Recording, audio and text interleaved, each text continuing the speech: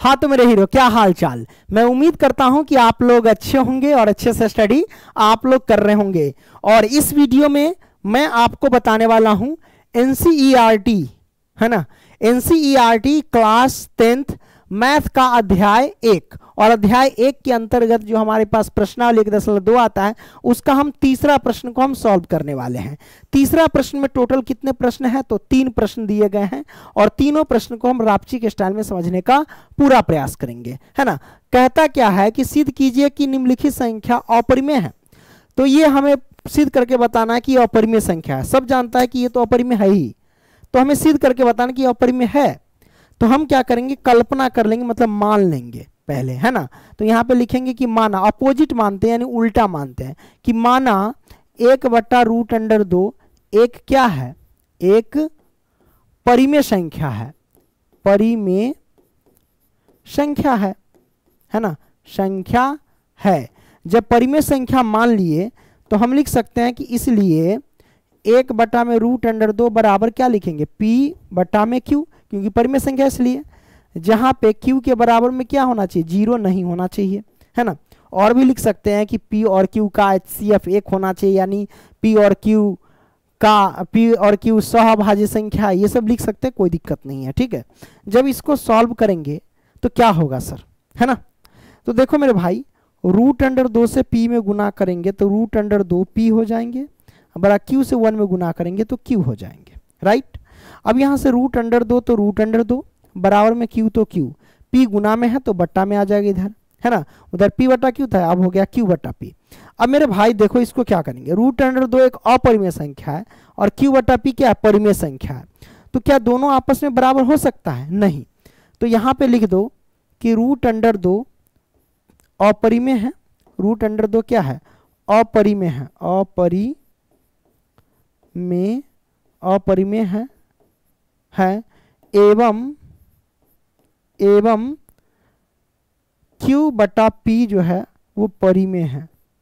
परिमेय है। है ना? ये मैंने लिख दिया। रूट अंडर दो अपरिमेय है, एवं P, Q बटा P परिमेय है। मैंने लिख दिया। चलिए, अच्छी बात है। अब यहाँ से हम क्या कर सकते हैं कि भाई, एक अपरिमेय एक परिमेय है। क्या दोनों बराबर हो सकते हैं? नहीं। हम यहाँ पे लिखेंगे अपरिमेय अपरिमेय बराबर परिमेय। परिमेय। बराबर हो सकते नहीं। असंभव है। असंभव है। है ना? तो ये हो गया। तो हम ये लिख दिए, है ना? माना या फिर यहाँ पे सबसे अच्छा लिखो, कल्पना किया की, है ना? यहाँ पे लिख दो, कल्पना किया की। कल्पना। कल्पना किया की। है ना? किया की। राइट कि ये हमारे पास परिमेय संख्या है। तो अपरिमेय संख्या और बराबर परिमेय संख्या, क्या बराबर होगा? नहीं, असंभव है। अतः हमारी कल्पना गलत है। लिख देना, अतः हमारी कल्पना गलत है।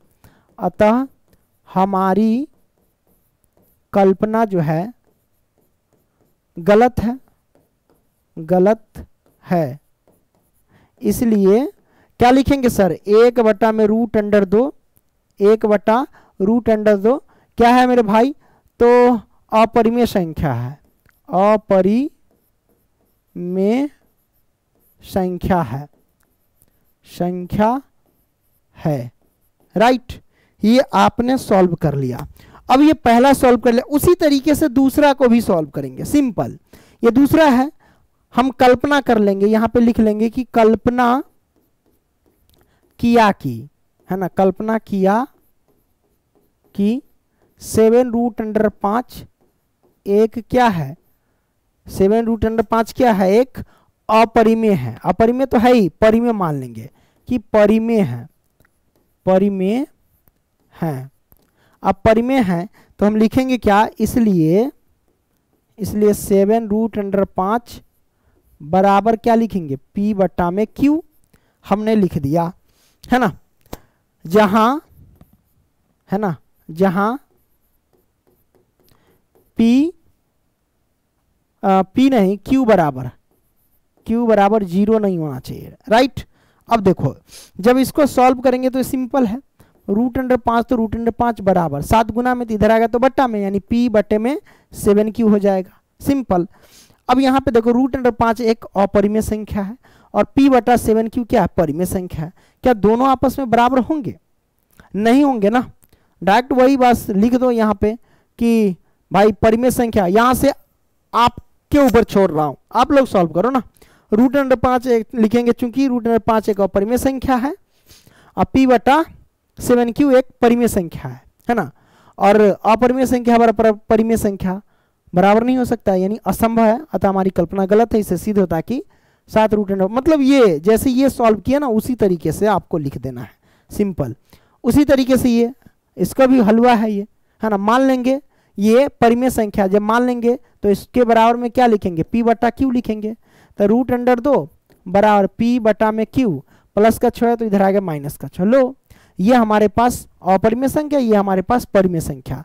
अपरिमेय संख्या बराबर परिमेय संख्या होती है? नहीं होती। असंभव है, अतः हमारी कल्पना गलत है। इसे सिद्ध होता है कि छह प्लस के रूट अंडर दो एक अपरिमेय संख्या है। सिंपल बस ऐसे आपको लिख देना है। है ना? मिलते हैं अगली वीडियो में, तब तक के लिए बाय दोस्तों टेक केयर लव यू